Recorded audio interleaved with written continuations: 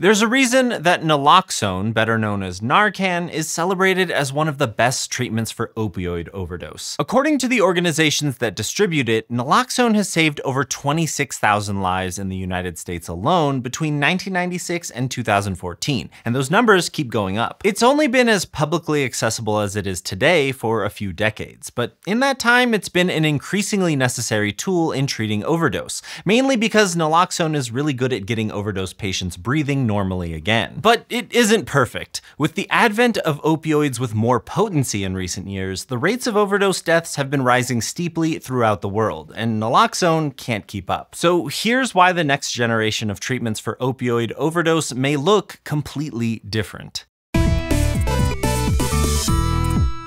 Before we can talk about naloxone, we need to talk about the thing that it treats, opioid overdose. When you were feeling the worst pain of your life, you got a prescription, it made you feel better, and your body told you to keep doing that thing that made you feel better. Opioids work really well. If you're in a lot of pain, they can make a world of difference. For example, morphine is an opioid we get from plants that's known for relieving severe pain. We're talking excruciating end-of-life pain or cancer treatment pain. So it's powerful stuff, but it's not some otherworldly substance like anti-kryptonite. It works in a similar way to endorphins, which your brain makes naturally. Endorphins are opioids that help you respond to stress and other obstacles that pop up throughout the day. They bind to opioid receptors embedded in the surface of your cells to signal your pain relief response. But not all opioid receptors are created equal. There are a few different kinds of opioid receptors, all of which have slightly different nooks and crannies that activate varied responses. Each type of opioid has a unique shape that sets off different processes in the body. So opioids opioids don't just take away your pain and stress, they also affect your metabolism, breathing, and heart function.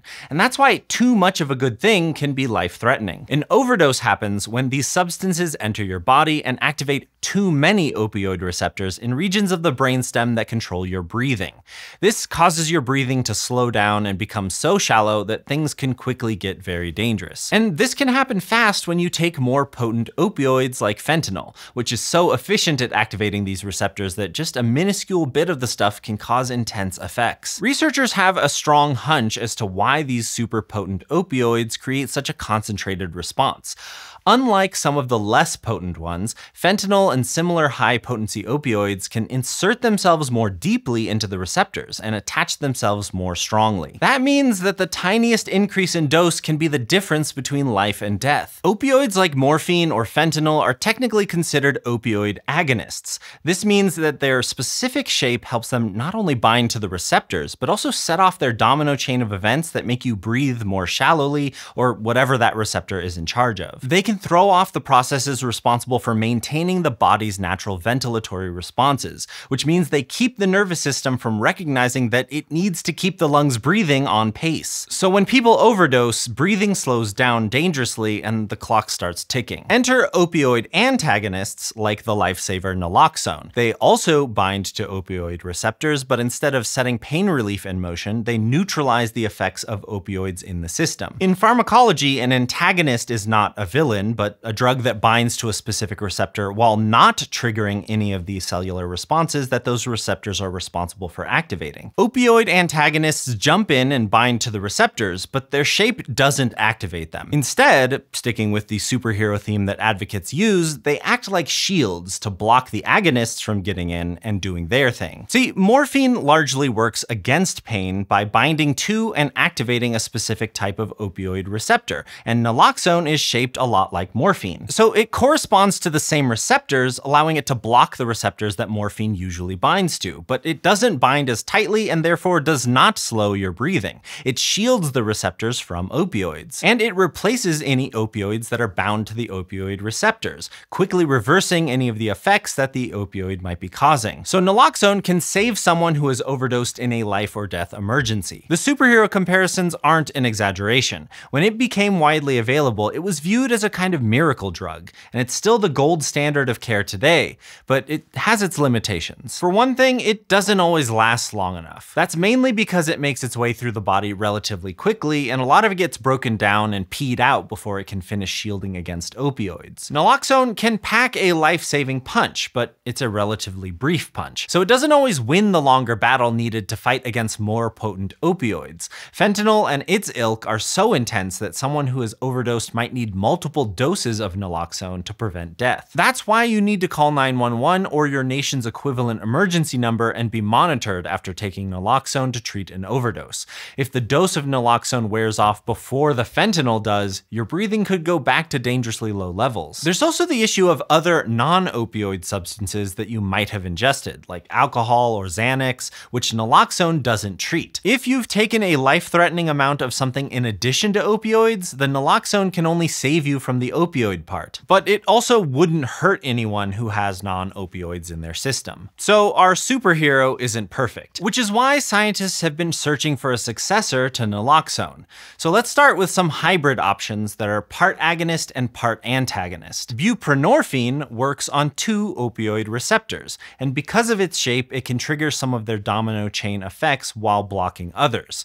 For instance, it works as a painkiller, but also can prevent or treat breathing complications. It has been FDA approved since 2002 to treat opioid dependence, and evidence from the last decade or so suggests that it can prevent fentanyl and other potent opioids from leading to overdose. A study published in 2022 suggested that it could outlast naloxone and shove more potent opioids out of the way even more effectively when someone has overdosed. Those researchers found that sufficient levels of buprenorphine in your body could reduce the dangerous slowdown in breathing in the first place. But that study had a relatively small number of participants. A larger buprenorphine study conducted from 2015 to 2018 at a hospital poison center in Iran looked at the effects of the drug administered on those who had overdosed on the opioid methadone. In this trial, a discrete dose of buprenorphine outperformed a continuous infusion of naloxone in reversing dangerous breathing problems. Researchers are still fine-tuning things with this option. While there's potential to use buprenorphine to treat overdose,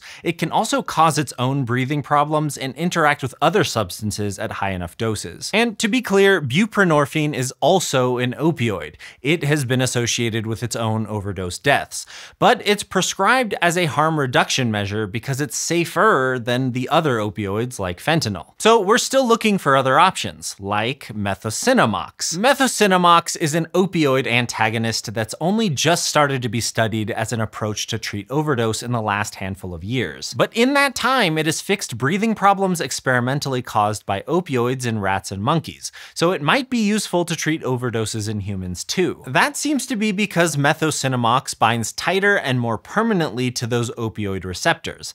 Studies have suggested that it can block from binding for days or even weeks after treatment. So the idea is it may not only treat overdose, but also prevent it from happening again for a good chunk of time. And that is very exciting, but it's only been tested in other animals so far. Still, researchers are cautiously optimistic that clinical trials in humans as early as this year may soon shed more light on its potential to save people from overdose. And a third long-lasting option doesn't involve opioid receptor agonists or antagonists at all. Instead, we could tap into immunity to block opioids like fentanyl from activating receptors. For instance, some groups have been looking into antibodies that disable fentanyl before it can get to the brain. These are proteins created in a lab that attach to opioids and prevent them from binding to opioid receptors, just like antibodies that keep viruses from infecting cells. A particularly promising antibody to treat overdose emergencies is known as CSX-1004. According to a study in mice and monkeys, one dose could block breathing problems caused by fentanyl for 28 days. Another benefit is that since they don't bind to receptors, there's a lower risk of unwanted side effects. CSX-1004 is being tested for safety in human clinical trials. Again, we'll have to wait and see, but the scientists working on it are hopeful that it could become yet another way to treat opioid overdose. But researchers haven't given up on naloxone either. Some believe that new formulations of our trusty hero may improve its effectiveness. And we could start by getting it into the body in new ways, like naloxone that's attached to what are called nanoparticles. These are molecules with chains of naloxone on them. Naloxone doesn't get cleared away as quickly when it's attached to nanoparticles, so it can hang out longer in your body. That way, naloxone can keep getting to the receptors and blocking them for a longer time. For instance, in a 2021 study published in ACS Pharmacology and Translational Science,